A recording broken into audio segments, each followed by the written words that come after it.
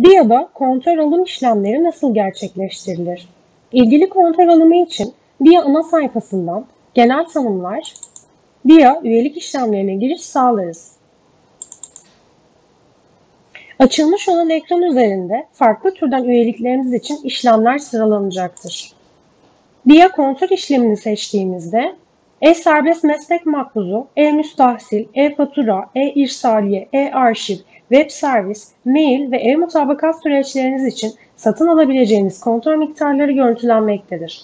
Ödeme şekli olarak kredi kartı ve banka havalesi olarak seçeneklerimiz mevcuttur. Sağ üst alanda bulunan makbuz gönderimi için e-posta adresi girilmelidir. Banka havalesi ödeme şeklini seçerek satın almak istediğimiz kontrol paketini seçeriz.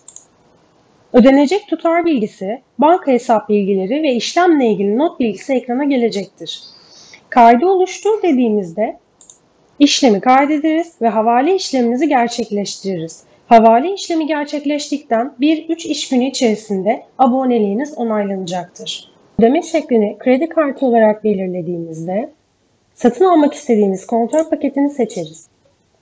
Ardından karşımıza gelen online ödeme sayfasına ilgili kart bilgileri girilerek ödeme yap butonuna tıkladığımızda işlem tamamlanacaktır.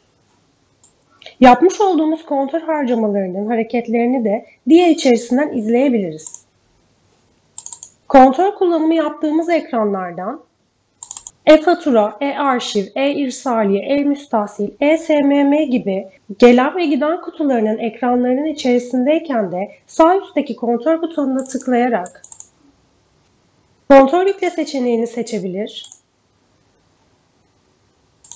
veya kontrol hareketlerini seçerek karşımıza gelen ekranda tüm kontrol hareketlerini izleyebiliriz. Tipi alanından hangi tip işlemlerimiz için kontrol harcandığını görüntüleyebilir Tipi alanından hangi tip işlemlerimiz için kontrol harcandığını görüntüleyebilir, görmek istediğimiz özellikleri sınırlayabiliriz. İlgili kontrol hareketlerini otomatik mesaj sistemi içerisinden de direkt olarak takip edebiliriz.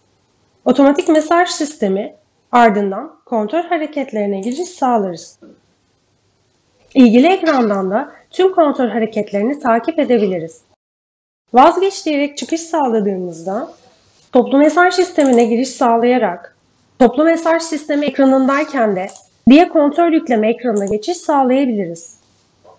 Raporlar alanına geldiğimizde firma bazında kontrol kullanımlarımızı görüntüleyebileceğimiz kontrol firma kullanım raporumuz bulunmaktadır. Başlangıç ve bitiş tarihi belirleyerek tek bir firma için görüntüleme yapabileceğimiz gibi toplu olarak da birden fazla firmamızdaki kontrol hareketlerini görüntüleyebiliriz.